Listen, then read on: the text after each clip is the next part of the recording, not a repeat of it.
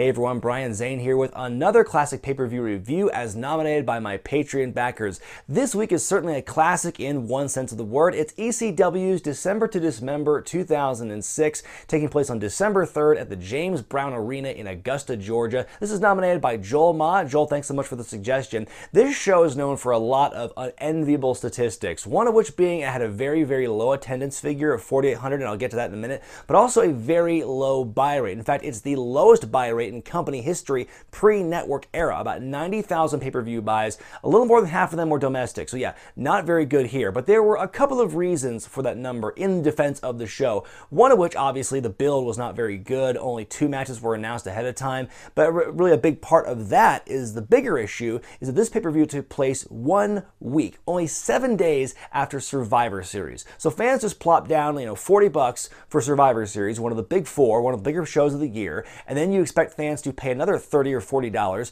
for another pay-per-view, like a single brand pay-per-view in ECW. And so I think fans weren't really able or willing to do that. And this was really 2006 was really the worst of the brand split 1.0 in this regard. The fact there was just a glut of single brand pay-per-views. I think this year alone they ran 18 pay-per-views in total. That's way too many. That's way more than one a month, and that's I think a reason why this show, one of the many reasons this show didn't do so well in terms of numbers. Also going back to the attendance thing, only 4,800 in attendance, which sounds like a low number, and it certainly is. But then again, the James Brown Arena in Augusta was not a very large arena. It is not, it's not the same size as the typical WWE arenas you see today for Raw and SmackDown, where it fits like 15 to 20,000 people. This is like about a 9,000 seat capacity venue. So you take about 2,000 off of that for the set and the amount of space that takes up. That's still maybe about six, 7,000 seats available. And, you know, it was about 4,800, less than 5,000 people apparently attended this show. I don't know what crazy camera tricks they did to make it look a lot more full than it was. I'm sure they took a bunch of people out from the hard cam side and pushed them over to where the cameras were visible. You could still see some empty seats throughout the show, but it wasn't like it wasn't near empty. It wasn't like SummerSlam this year kickoff show levels of empty,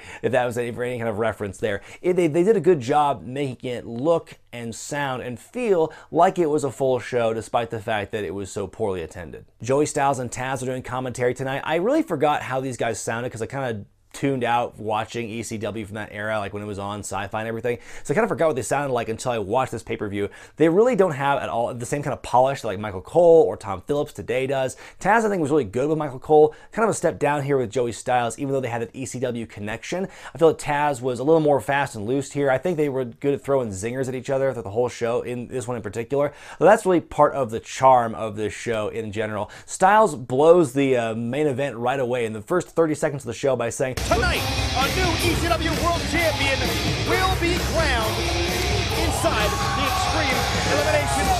The first match of the night, and really one of the only ones worth watching, it's MNM versus the Hardy Boys. Now, the Hardys had just recently reunited the previous month in preparation for Survivor Series.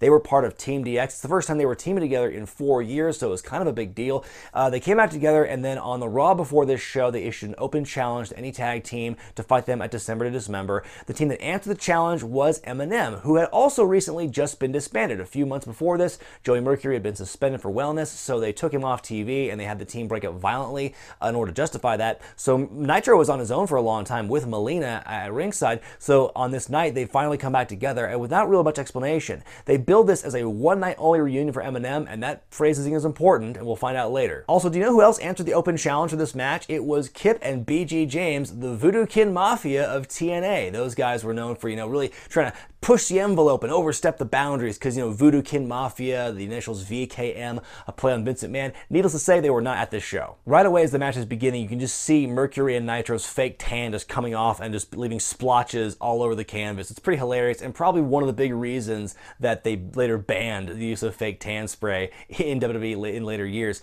Uh, Hardy's early on do this really interesting double team move, and I've seen this before. I don't know the name for it, but they do a double team move on a Mercury where they grab his wrists and his ankles, he's kind of upside down, and they swing him back like a hammer or something. He takes a big old splat on his back. Uh, it's it's a fun move to look at, but I don't think it's a very good one to take. I've never taken it, but I've worked with a team before in the Bay Area called the Stoner Brothers, and they call that move something nasty, and it is it, it, it is as advertised. It does not feel good to take that move. I can only assume. It's actually a really good match between these two teams. Like I said, it's one of the only ones worth watching. It's certainly one of the longest matches of the night, and it just really both teams had a lot of chance to shine and get each other's stuff in and tell a really good story. Part of that story involves the, um, MNM just outright stealing the Hardys' moves at a couple of points. They hit a nice poetry in motion. Then uh, Mercury goes for a twist of fate, but he gets shoved into Nitro, who's on the top rope, and Nitro crotches himself, and Taz with his great call saying he landed right in the yam bags. Nitro right in the yam bag. In a way, the match almost feels like two separate matches stitched together because you've got the first half of it where he's kind of like 50 50, Hardys and MNM. Then uh, Jeff goes for a swanton, he misses, and that's how the MNM gets their heat. I feel there was a big sudden like point in the middle of the match where it's like, okay, there's this big spot where the, the Hardys do some flying stuff, and then from there, like match two or the second half of this match begins. It really feels like two separate stories being told, but they kind of find a way to make it all gel into one thing. It's just something I noticed here. Uh, Melina, who by the way is screaming that this entire match, getting the whole scream thing over Super Big and Taz can't stop talking about it on commentary and how sexy it sounds to him. At one point, she gets on the apron and Nitro goes for a dropkick onto Jeff, but Jeff dodges out of the way, and so Nitro dropkicks Melina right in the mush, and she takes this big bump off the apron. It's a big spill. MNM go for a super snapshot onto Jeff, but Matt makes the save, a double twist of fate, and then he stacks both members of MNM up, MNM up like cordwood, and Jeff does a swanton onto both of them, and the Hardys win that match. I'm gonna give this one three stars out of four. Hell of a way to kick off the show, and despite the fact that there's really no build to this, and the fact these two teams didn't really have a whole lot of heat because they only both of them just recently reunited, I think it was a spectacular way to open the show, and really, uh, you know, it, it, don't let this match, you know, cloud your judgment. The rest of the show is not going to be this good at all. They frequently said on commentary that this whole match, the Hardys are probably done as a team after this. They would, you know, amicably split and go their separate ways and pursue singles careers after this because Jeff at this point was already the IC champion. And also, like I said earlier, MNM said this is a one night only reunion for this matchup. And of course, both those things were false because these two would feud for like the rest of the year and into the following month as well. Uh, they would fight again at a tag team ladder match in Armageddon the next month, which is known for two big things. One, the fact that it was also very hastily booked, very much last minute booking decision. And two, Joey Mercury's horrific facial injury suffered at the hands of a ladder that put him on the shelf for quite a bit of time. Up next, Matt Striker taking on Balls Mahoney. Now, this time, Matt Striker was kind of a big deal in the headlines because he had recently been fired from his teaching job for using sick days to work wrestling shows during the week, which of course is a big no no. And they really wanted to hammer home the fact this guy's a former teacher. Like, you know, they had the ring announcer said they billed him as a former social studies teacher. And not only that, you've got the music with the school bell, you've got him wearing the Argyle tights and the sweater vest. He introduces himself by saying, I'm Matt Striker and I'm your teacher. The Titantron's got a chalkboard motif. No, I would have no idea he's a school teacher. Also, Striker has his own face like screen printed on the back of his tights, which is a very terrible decision because not only is it weird in and of itself, but also the mouth portion keeps riding up his ass because that's at the crease of the tights, so it just looks like his mouth is just chewing his own ass. Joey Styles the line of the night saying, You've got to wonder about a man who wants to sit on his own face, Taz. The whole story with this match is that it's not an Extreme Rules match, it's a Strikers Rules match, aka an extremely enforced rules match, where he says there's no eye gouging allowed, no hair pulling, no foul language, it's all very naughty naughty. And the whole idea is to take Balls Mahoney out of his usual hardcore element, but in surprising fashion, he is able to do some mat wrestling early on here, some takedowns and some holds and everything. Uh, they put they, they, put him over on commentary the fact that Balls did amateur wrestling in high school, and he also punched out a referee, so uh, he has that, that, that amateur credibility there. So Striker works the arm here a lot, and, and Balls does a very good job selling the arm uh, to his credit. Striker does get a lot of heat by violating a lot of the rules that he himself wanted to enforce, like some hair pulling and some other cheating ways and stuff like that. He crotches Balls Mahoney on the top rope. Balls does make a comeback, throwing a terrible back body drop. Like he's selling the arm, so he doesn't have the whole body into it. So Striker just kind of takes a very horrific looking spill over the shoulder here. Uh, Balls hits a sidewalk slam, kind of a sit out move, kind of like the lowdown to win the match. I'm going to give this match one and a half stars out of four. It's a decent little match. Striker gets a lot of good heel heat here, if not a little formulaic. I was honestly surprised to see Balls hold his own in the ring doing mat wrestling stuff, so that was kind of a welcome surprise. And yeah, I think as far as like singles matches goes, this is probably one of the better ones of the night. We cut to backstage where we see Sabu, who is booked for the Extreme Elimination Chamber match in the main event, has been laid out. So another typical night for Sabu. Then the fans are chanting bullshit because this means he's not going to be in the main event. Apparently, the company considered Sabu to be useless in normal matches, and that he was only good for like matches with stunts and weapons. I'm like, so why not keep him in a match like this where he can actually thrive and do well? If you're so concerned that oh he can't hold his own in a normal match, then you know put him in a match where he'll thrive. I thought that was kind of silly. Apparently, he was also had a reputation for being un uninterested at TV tapings. So basically, he had so much heat on him that they pulled him at the last minute, which I, you know, I read that Paul Heyman strongly objected to. Uh, Hardcore Holly would replace him later in the night. In fact, they see him, you know, Heyman backstage telling Holly, who's been in cahoots with Heyman recently on TV, that he's going to be the replacement for Sabu. And like, wow, good thing Holly was wearing his gear at the time. Up next, some tag team action as Elijah Burke and Sylvester Terkay take on the full-blooded Italians, Little Guido, aka Nunzio,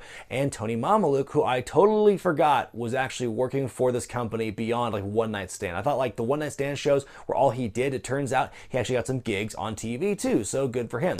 Those two were accompanied by a woman named Trinity, and I had to write my brain like, who is this woman? Like, cause I watched her this time, so I watched some ECW when it was around. Like, who is this woman? Was she like, did she actually work for the original ECW? I had to look her up uh, after watching. I'm like, oh no, she actually worked for TNA for a bit.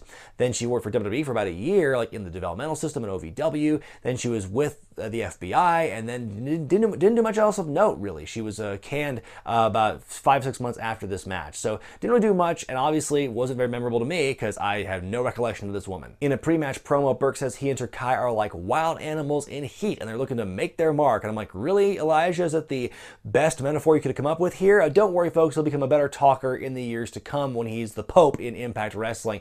Anyway, the FBI are super over in Georgia, and I'm being super sarcastic when I say that because you can hear a pin drop when they make their entrance.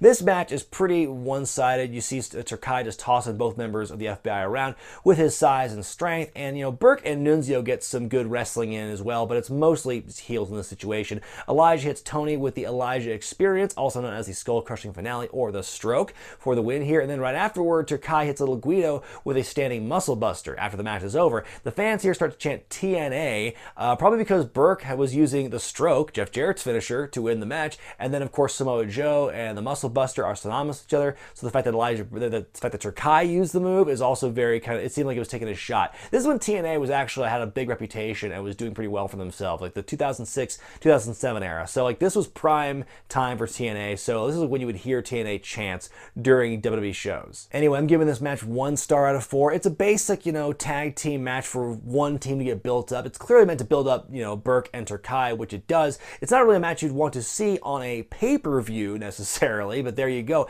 And of course, this team wouldn't last much longer because in January, Terkay would be released, and really no reason that I could find has been given for why he was cut because he was in the middle of a win streak at the time. So for him to get cut in that way was kind of surprising. So Burke would linger in the company for a couple more years before he left for Impact Wrestling. Up next, Tommy Dreamer takes on Daivari. And no, I'm not talking about Arya Daivari, who's currently on 205 Live. I'm talking about his older brother, Shawn, who is, of course, most infamous for teaming with Muhammad Hassan in that first run. So after Muhammad Hassan got canned in 2005, Daivari was just bopping around from like person to person, being their kind of like hype man and, and mouthpiece and everything. And really, Daivari with the great Khali here, Khali's in his corner, is really going to be one of the laziest pairings in wrestling history, one of the most like racist, jingoistic pairings in all of wrestling. It's like, hey, here are two dark skinned wrestlers who have totally different backgrounds. Like one's Indian and one's Arab American, but hey, let's put them together because they're foreign. Early on in the match, Kali pulls down the top rope and Tommy Dreamer comes spilling out to the outside. The referee catches him and throws him out, which is probably for the best because the less we see Khali attempt anything wrestling related,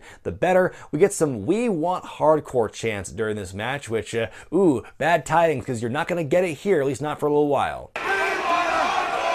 Hate seeing a competitor grab the neck but now, and you see Daivari doing So here's the finish. Dreamer fires up, he throws some punches, he puts Daivari in the Tree of Woe, big running drop kick, and then he's gonna hit the DDT. But before he does, Daivari drops down, rolls him up into a schoolboy, grabs the tights, and that's how Daivari wins the match. So really, except for the tights pulling, Daivari made Dreamer look like kind of a chump because, you know, Daivari actually used his quick abilities to just get in the position to begin with. And Dreamer, you know, this former ECW champion, total badass, is like indestructible, innovator of violence, can't kick out from his tights getting grabbed grabbed, that's some pretty shitty booking. I give this match a half star because it was a boring match with a cheap finish, didn't care for it. Right after the match, Dreamer is chasing Daivari up the ramp, but he's intercepted by the Great Khali, who does a two-handed choke slam onto the steel stage, which looks stiff as fuck, and that did not look fun to take, and that's pretty much the whole thing. You do see him, you know, getting up under his own power, so, you know, that is showing Tommy with the fighting spirit and everything, and really, you hear this, just near the very end, you hear this one fan get picked up on the microphone,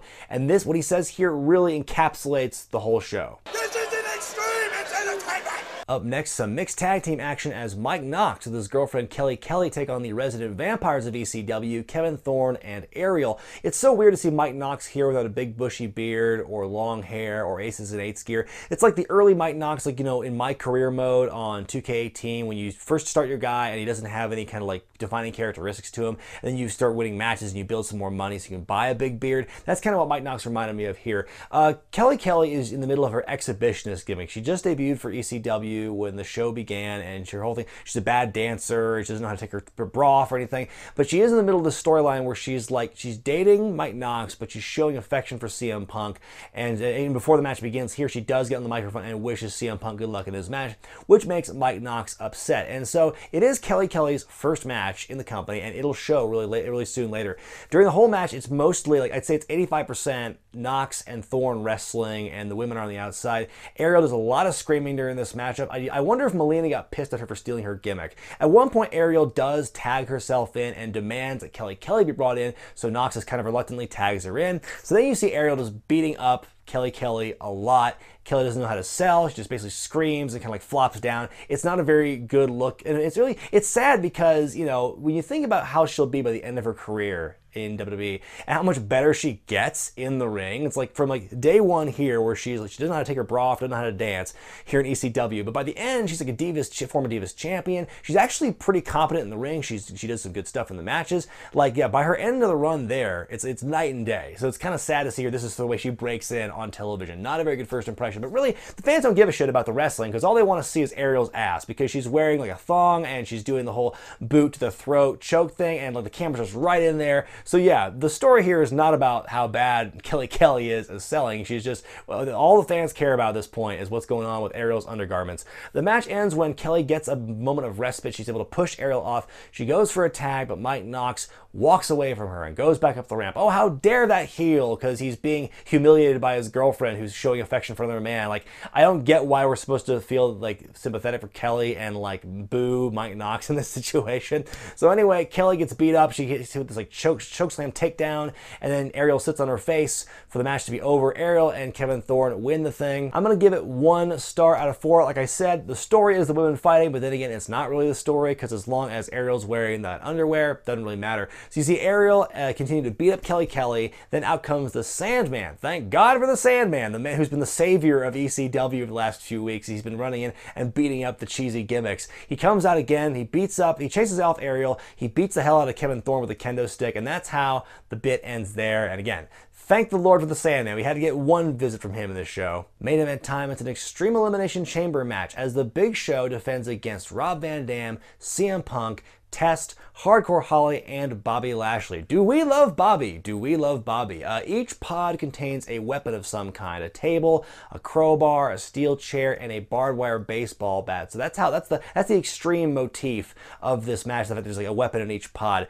Uh, Paul Heyman cuts a promo before the match and says this is the dawn of the global phenomenon of ECW, led by his champion, The Big Show. And right after he says it, you hear a fan yell, The seven foot tall, 500 pound Big Show. Who's gonna retire next year? And what's funny is he kind of did. Like after this match and like a week later, he was gone from the company until like February of 2008. He wouldn't come back until the build for WrestleMania 24 his match with Floyd Mayweather. So yeah, that fan was pretty much on the money when he said it. Of course, Heyman was a heel at this point, putting all of his eggs into the Big Show basket and really defending Big Show as champion because, you know, a few months before this, or a little bit before this, I should say, Paul Heyman turned on Rob Van Dam because Van Dam IRL had gotten busted for pot possession while he was the WWE and ECW champion. So in one fell swoop, they took the belts off of him, and part of that included Heyman turning his back on RVD to allow the Big Show to become the new ECW champion. And Big Show's really been on a tear for months, getting gassed every week, going against these, in these hellacious matchups with people. Every time he saw the show, match end with Big Show, it was like he was going to die. But here he is, he's being placed as this unstoppable killing machine, this monster,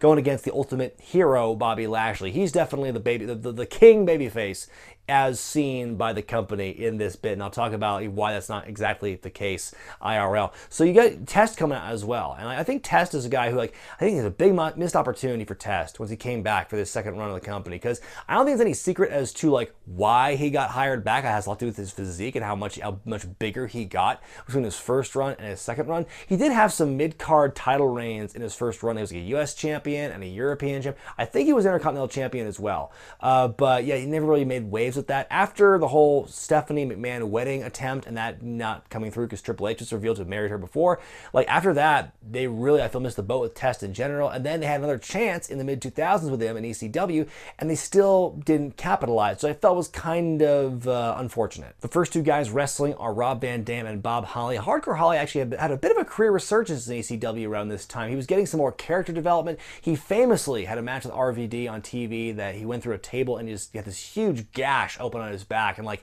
he was able to carry on, finish the match, and he had a bunch of stitches for it. So it really kind of helped him earn more of his stripes as a hardcore wrestler because that's certainly a hardcore thing to do to get uh, cut like that and to keep on going. CM Punk is the next man in. Starts off right away by throwing his steel chair right in Bob Holly's face, and really at this point they're really using the cell to their advantage early on. RVD and Holly and Punk are just using like the, the cage wall and the floor, the steel floor as weapons and stuff. They're really uh, utilizing the space of the chamber in this match early on. Punk counters a Van Dam attempt and leg drops RVD's face into the chair, which causes him to be bloody. Then he throws RVD face first into a chair in the corner, and there's this great shot here where you see just his face. It's like Porky Pig in the Come Through the Drum. If that's all, folks, RVD's head just comes right through the opening of the chair, and you see his like bloody head just sitting there resting, like he's passed out. It's a really good shot. Shortly after Test makes his way into the match, RVD hits CM Punk with his running drop kick to the face with the chair in the corner, then the five star frog splash, and CM Punk is the first man eliminated. And the crowd was funny here because you hear it first going, Yay, RVD! And they realize, Boo, CM Punk is gone and we want him to win. And that was really, I think Punk the, being the first one taken out certainly smacks of the company thumbing their nose at what a lot of the fans, what the popular opinion was of Punk at the time. And certainly, despite Paul Heyman, it would seem, because Heyman allegedly vouched very much for CM Punk to win this match and even actually start things off by eliminating the Big Show early on with a submission to really put him over as this giant killer and this world beater, so to speak. So uh, clearly the company was like, nope, we got our man in Bobby Lashley. Fuck CM Punk. And so uh, that was not to be here. So that was the beginning of a long, arduous climb for CM Punk into his championship status. He would eventually get. Right after CM Punk gets eliminated, Test hits Bob Holly with a huge big boot and eliminates him, even though it felt like kind of a sloppy elimination because I didn't hear the referee count to three. It just didn't sound like the three count was made. And did Bob Holly kick out? What happened? No, he's just gone. Okay, that was kind of an awkward little moment there. Holy cover!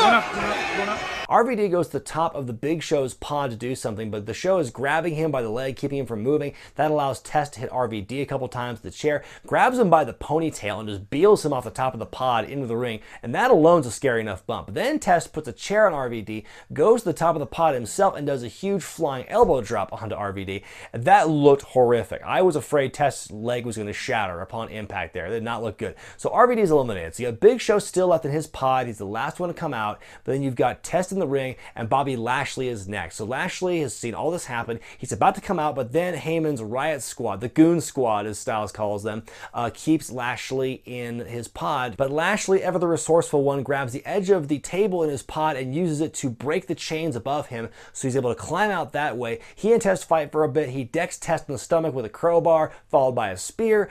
Test is eliminated, and so then you've got Lashley and Big Show, who's still in his pod, and they have a whole minute of time pass before you know when Test is gone, and then La- and then Big Show's pod finally opens. You see Lashley stalking his prey, and Big Show doesn't seem very phased by it. So Big Show's got his barbed wire ball bat, and then he finally starts swinging over at Lashley. Lashley's deflecting it with a chair. Kind of a cool little sequence here where like he's really trying to defend himself against this monster, this giant with this deadly weapon in his hand. Show swings the bat into the cage wall, and he gets stuck. That allows Lashley to get an advantage. Show gets tossed through the pod glass, so Lashley's looking amazingly strong here as Paul Heyman is going into a conniption fit at what he is seeing here. Show goes for a slam, but Lashley rolls off, hits a spear. Lashley wins the championship, and now Destiny has finally reached where it meant to go all along. Lashley has uh, defied the odds to become the new ECW champion. Boy, defying the odds sounds like a familiar motif, doesn't it? I'm going to give this match two and a half stars out of four. I think it was a good twist on the standard Elimination Chamber setup. I think the space they used was well utilized here and, and using it as a weapon. The, the additional weapons added in this match give it just a little bit of spice that made it different and stand out from the traditional chamber matches before and after this. So I think everyone did okay in the match. Big props to RVD and CM Punk and Test for what they they did in this match in particular. I think everyone did well, all things considered, and the story was pretty solid as well. So after this matchup, Show had one more match, a rematch with Bobby Lashley on TV, and then he would officially go on hiatus until February of 2008 when he came back for WrestleMania 24. Lashley, of course, would go on to fight Umaga the next year at WrestleMania 23 with Donald Trump, the future president of the United States, in his corner. And then he would feud with Vince McMahon after McMahon was shaved bald. They'd fight for the ECW championship. Lashley would lose to McMahon, win it back, then drop it once again when he was drafted to Raw. But he was never really able to live up to his, you know, main event world champion potential. He seemed it seemed so obvious that what they were penning him in for. So he would leave the company in 2008. He'd bounce around between AAA, TNA and MMA. Of course, now he's doing pretty well for himself in Impact Wrestling, fighting for Bellator. He was recently the winner of all the belts in Impact. So I think he, he's grown so much. If you just watch Lashley now in Impact compared to like what he was then, obviously, you know, it's been 10 or 11 years, so you're going to get more experience, but he just seems so much more seasoned, so much better now. Like I feel that they really tried to do too much too soon with Lashley in that first couple years with him. I think that he, you know, hypothetically speaking, if he came back to WWE tomorrow, I could see him being being in the world title picture and even maybe even winning it in those first six months. My final grade for December to December 2006 is a D plus. Uh, the good matches were good. Hardy's and MNM, great match. Extreme Elimination Chamber, fun way to end the show. But man, literally every other match was just not pay-per-view caliber, clearly thrown together. These are matches you could have seen not only on ECW, you probably could have seen them on whatever the equivalent was of Jakked or Metal or Velocity. These are matches that did not belong on pay-per-view, really in any capacity. Uh, the questionable booking of the Extreme Elimination Chamber, I think that it, I think it would have made some a much bigger impact had CM Punk at least done well in the match and not been the first one eliminated. Maybe not have him win the whole thing right off the bat, but it would have been interesting to see him get that far. And then, uh, then the biggest thing, I think the biggest problem with this show is the fact it was a dreadfully short pay-per-view. Only ran just a bit under two hours and 20 minutes. Which again, if fans just watched Survivor Series the previous week,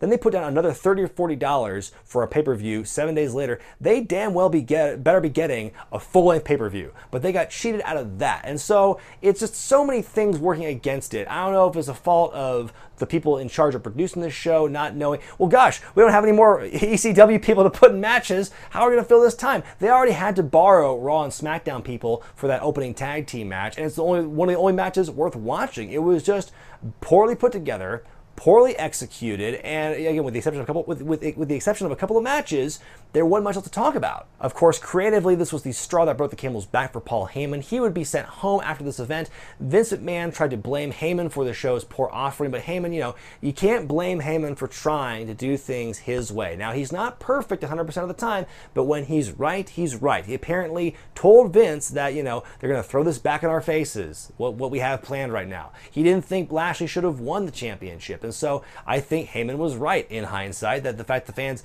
did not appreciate this match. It was, you know, not only, even if, you know, despite the low turnout and a low buy rate, you hypothetically could have had an amazing show. You know, it just all, all comes down to marketing essentially at that point. But they didn't. So not only are the numbers bad, but the reviews are bad because the rest of the show is just so poor compared to this, you know, this special Raw versus SmackDown exhibition they had at the top of the show and the Elimination Chamber match at the end, where some would argue the wrong guy won. So yeah, Heyman was gone after this show because he and Vince and Stephanie butted heads so often, and this was finally the boiling point for all parties involved. He wouldn't be seeing the company for years until CM Punk was the world champion, and then he was finally coming to being in CM Punk's corner, really kind of bringing things full circle to him being the CM uh, for CM Punk being the Paul Heyman guy. To give you another example or an idea of how much of a failure this show was, Tommy Dreamer and Stevie Richards, who worked a dark match on this show that night, uh, both wanted to be released from the company, and the company refused. So yeah, people wanted to jump from this sinking ship, apparently, in, in, the eyes of people who were there from the original, the original ECW people.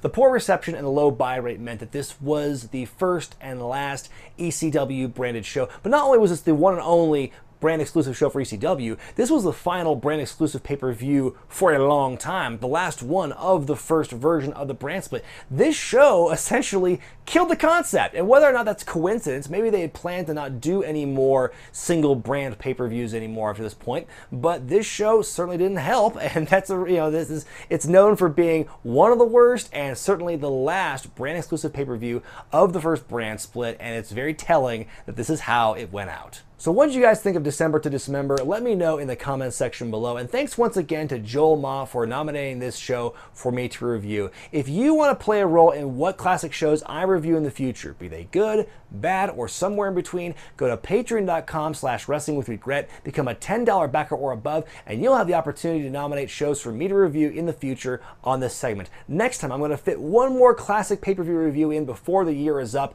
And because it's December, I got to do a Starcade show. But, you know, most people would say Starcade 97, but surprisingly, nobody nominated Starcade 97 before this point. So now I'm going to do the next best thing Starcade 98.